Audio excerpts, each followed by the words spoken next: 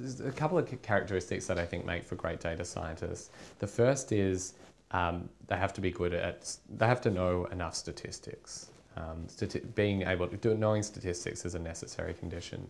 Um, the other is they have to be able to code. So you, you can do a lot more if, if you can pro.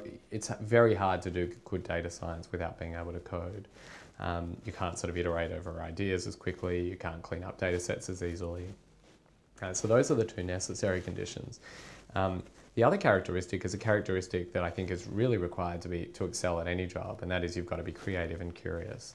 So you know, you see something anomalous in a data set, you don't just kind of blow it off and say, yeah, you know, I'm not going to trace this down. You see something that's kind of stack up. There's probably you've got to um, be of the persuasion that you kind of dig in and you try and find out exactly what it is that's going on in that particular, you know, what, what is the, what's driving that anomaly or why am I seeing this? You want to be creative and curious.